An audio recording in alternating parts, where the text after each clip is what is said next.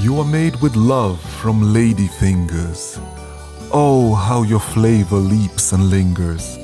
I could partake in you all day and let you with my taste buds play. You banish melancholy, absolve me from starvation, as ecstasy grips my body in salivating salvation. With your very name, you beg me to lift you up to my lips. As we become one, fulfillment and bliss, this world's worries eclipse. As you melt in my mouth, my troubles seem to fade. As a kaleidoscope of sensations twirls around on parade.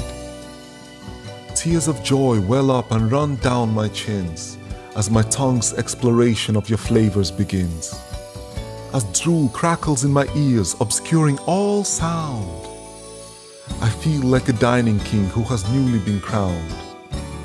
Oh, tantalizing, truffle sprinkled tiramisu. You have barely been swallowed and I already miss you.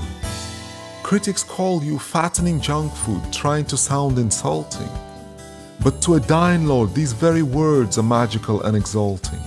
Your critics are blind to what we, dying lords, know to be true that the way to Murvana is paved with sapid tiramisu.